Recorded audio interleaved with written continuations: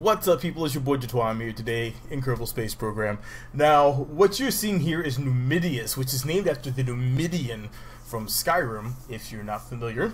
And, uh, I'm not going to even explain what the Numidian was, because I want you guys to go out and actually do some research, or you can enlighten your counterparts here and uh, type in what you know of the Numidian. I watch way too many lore videos even though I'm not a really big Skyrim fan, I was a really extremely big Oblivion fan. Skyrim just doesn't tickle my fancy, and so I really just watch the lore of Skyrim, and I play a little bit of it, but I usually stick, I usually stick with Fallout 4. If you're wondering what I'm doing in Fallout 4, check out these pictures, because those pictures are, there's a mod you can get that lets you build your own settlements and uh, unless you build up to 10 of your own settle settlements that is my crowning achievement. On the inside it looks even more beautiful. I'm still a work in progress. Each room is cordoned off and it looks just it looks amazing. But that's the outside of the building and uh, it is badass. Defense off the chain isolated in the water and it's taking me hours to get that to the point to where it's even livable. And I'm probably going to go back to playing that after I record this, so I'm just saying. well, let's go and try to take this beast out so you can actually see what all it entails. It is, is a massive craft. And you can see we have the, it's supposed to be counter-rotating. Okay, yes, they are counter-rotating. So that should counter, that should, um, stop any of the the, the Magnus effect that people were screaming about last time. Because uh, you want them to be rotating so that way it's not just spinning itself and destroying itself. So, yes. I mean, I can actually go here and um, I can reverse it, and you'll see that's actually I don't know why my brain's just like not accepting the rotation. I just took a bunch of headache stuff. My God. But yes, I can I can change the rotation, and that's what I needed to do. So one's going clockwise and the other's going counterclockwise. All right, let's go ahead and see if this beast is even going to make it to space. It's it's slightly big and it's off the the launch pad, and the last time it tipped over and it was terrifying. Alright, let's go!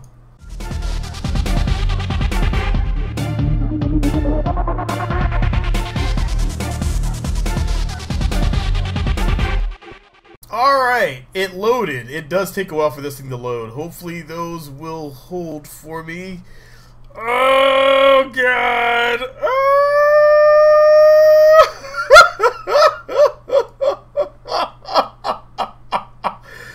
Okay, so that's being held up by these staging clamps.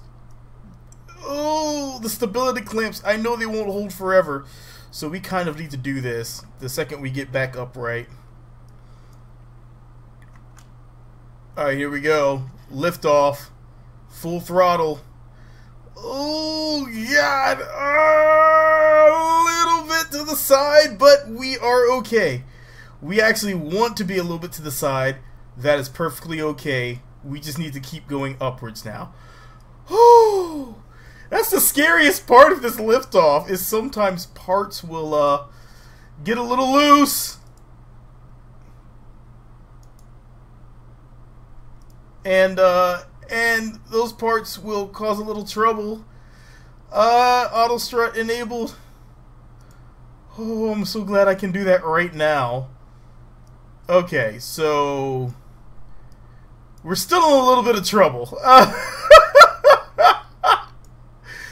but a lot of these parts are from various mods. I have a lot of mods installed, and it's taken all these to get this craft into in going upwards towards an orbit.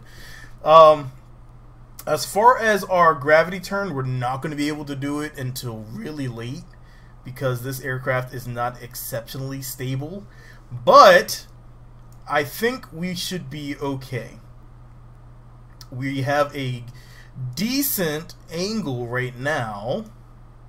And I'm pretty sure that these solid boosters will get me beyond the upper atmosphere because these are huge solid boosters that come with another mod that I have installed and I can't remember the name of it right now. Are these the MRS? No, the STS Space Shuttle SRB. So these are rather massive. They have a lot of fuel in them and you can see we have a lot of resources going for us right now. Solid fuel is burning up quick though. Okay, so I want to start to do a bit of a turn with this thing. So here we go. These things also can they can also have a bit of vector to them, which is fantastic because that way I can um, I can not worry about my SRBs just going straight forward. All right, it's looking good so far even though we're, we're kind of falling over a little bit. Falling over a little bit. We need to ease up on that until we can get further out. Oh god, everything right now is going so slow. Frames per second is abysmal at this point. But we are doing pretty good. We are airborne we are doing our gravity turn. And hopefully, hopefully this mustache will stop itching my nose. It's not much of a mustache, but it's enough to tickle my nose. Alright, looking good, looking good. It's going to be a weird orbit.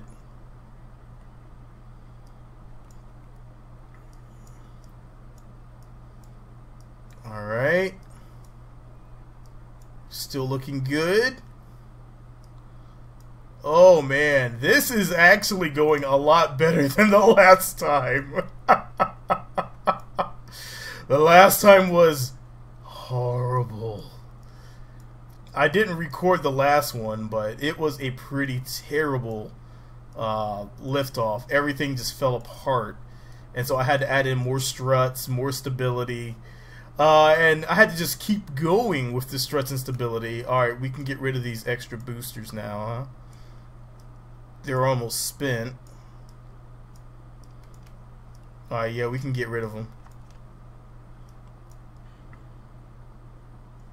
Alright, easy. Oh, dear God. Oh, okay, our engines are still okay. Alright. So let's get ourselves flattened out. And we're going up to around 100. There we go, 100 meters. All right. So we're good there. And now I just want him to go prograde. Woo!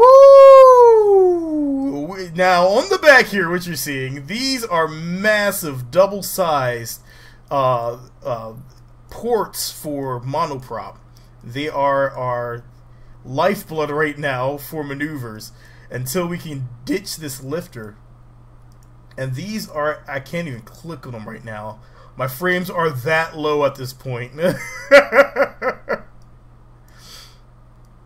Alright, but it's handling it pretty well. I'm surprised because it is actually just way too big of a lifter. I should have ditched a lot of the fuel on my way up, a lot of the fuel tanks.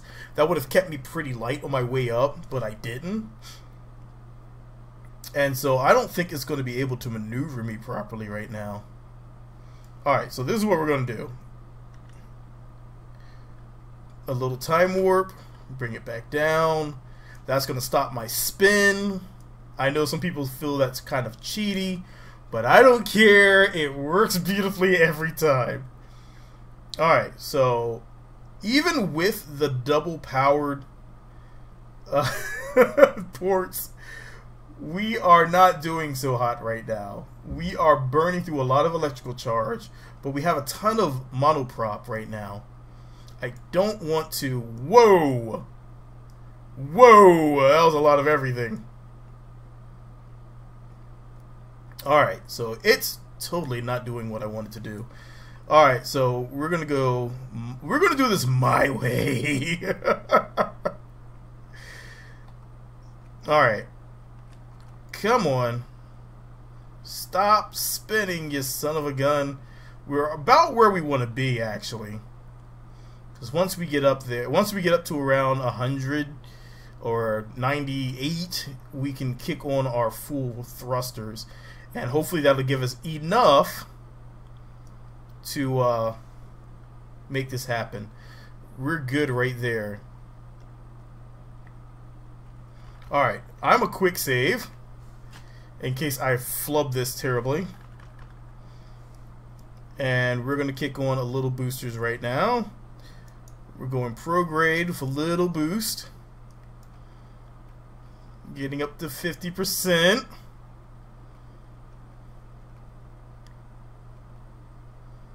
Alright, that's going to control us. We have the control. Alright, full burn. Hopefully this will work. Alright, alright, here we go. Hopefully this is going to be enough enough boost to get us going. And I want to hold this right here, actually. Hopefully this is going to work. Okay, so our periapsis is rising quickly. For everyone that's out there saying there's no way this is going to work, it's working so far, and I'm, I'm. This is why also why I pushed it up to hundred, because I was pretty sure that I needed as much wiggle room as possible for this. And if I didn't have that wiggle room, then we were going to be in severe trouble. So I pushed it up to 100 because that's a good stable orbit. And also it keeps me far enough away so I'm not going to run into very much trouble except for the fuel issue, which we are quickly running out of fuel. But I think we have just enough for this to work. All right, we are, our periapsis is dropping to under 200 or rising to, it's rising up to 200. All right, we continue rising. We're looking really good right now. And come on, get me into the positives. Get me into the positives. We're in the positives. All right. So I want this to get out to 75. I can kill it right there. Okay. Woo!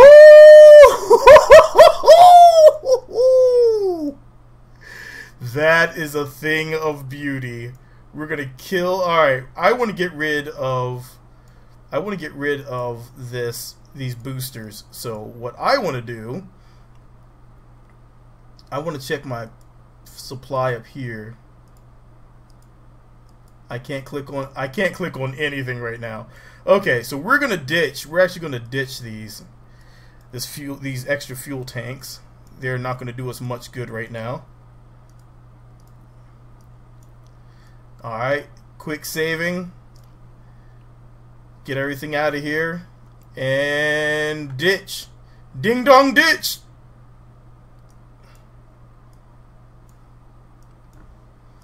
Alright. So we kind of need to uh, lift ourselves away from this monstrosity lifter. Come on. Oh, the front doesn't want to lift away, huh? That might be a little concerning. Um, holy crap. Alright. Uh, that can stop. And now let's push ourselves away from all this. Holy crap.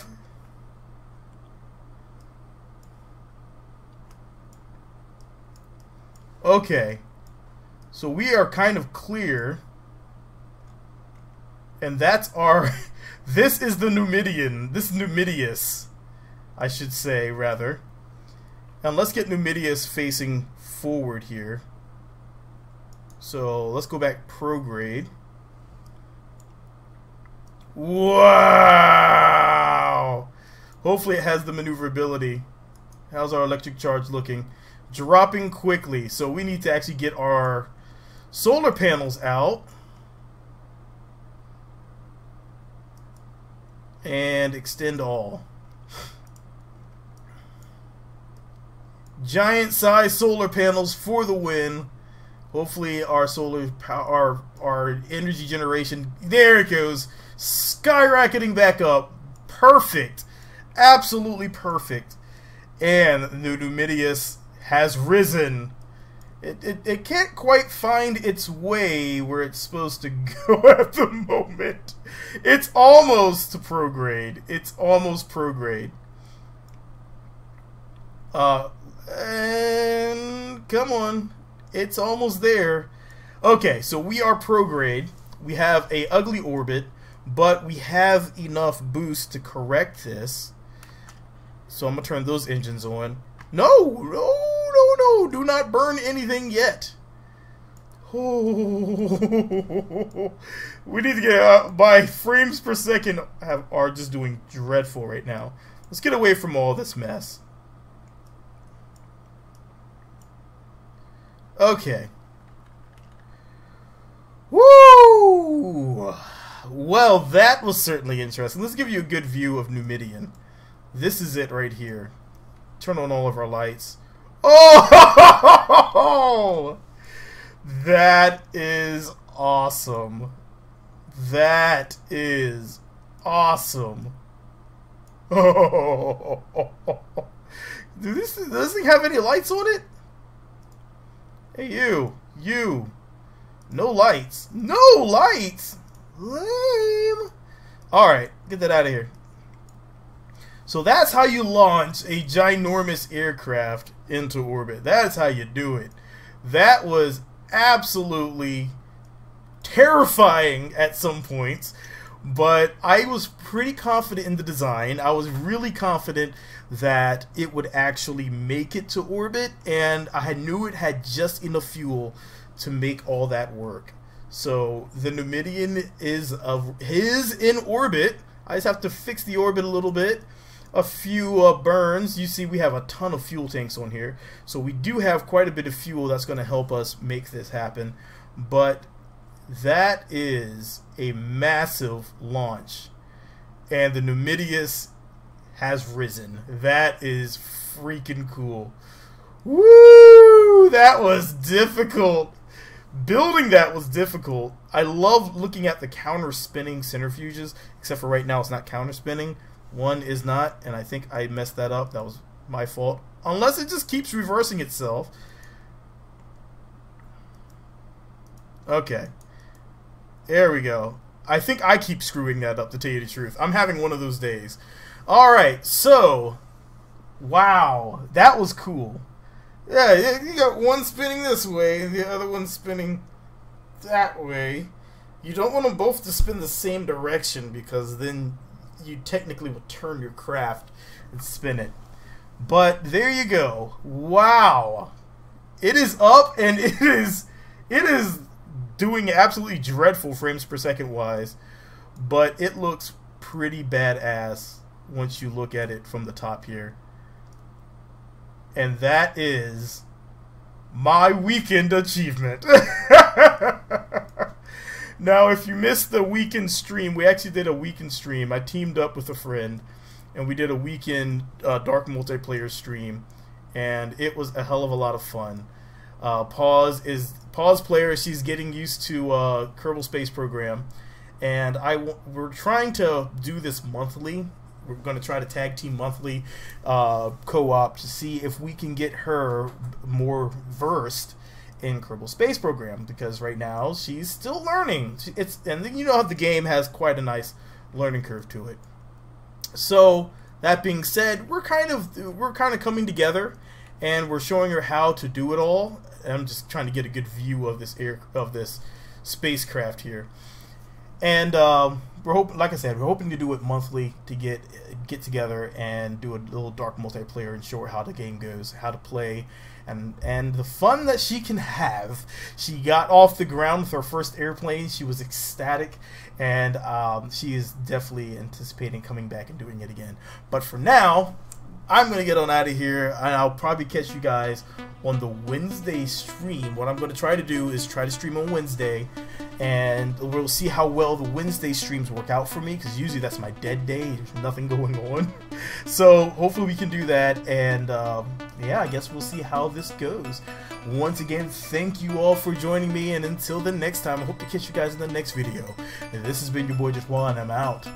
Peace. I gotta fix the guy's jetpack so that way I know they're not gonna fly off into nowhereness if I try to uh, if I try to take them around the station. That's why I didn't do it this time, to be honest. but anyhow, that's later. I'll fix that. I'll get it fixed. Peace. Eventually. we have lifted off.